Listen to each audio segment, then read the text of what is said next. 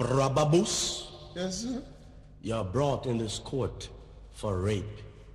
The penalty in my court is lashes. Hmm.